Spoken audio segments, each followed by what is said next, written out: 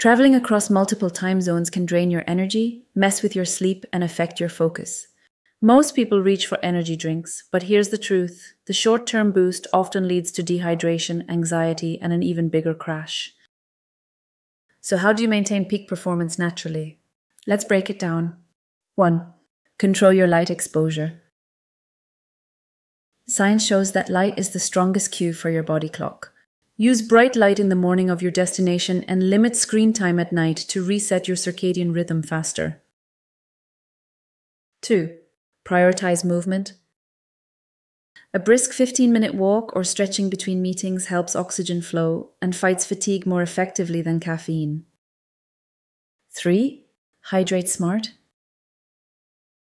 Flying and long days dehydrate you quickly. Water and electrolytes support brain function and keep energy levels steady. 4. Strategic nutrition. Lean proteins and complex carbs balance blood sugar. Avoid heavy, processed meals that make you sluggish. 5. Rest even in microdoses. Short naps of 20 minutes improve alertness without grogginess. Combine with deep breathing to calm your nervous system. Research in chronobiology and performance psychology confirms these methods are more sustainable than relying on energy drinks. With the right strategies, you can stay sharp, energized, and focused, even across six time zones. Want more science backed performance hacks? Subscribe to Headstorm and check out my resources in the link below. See you in the next one.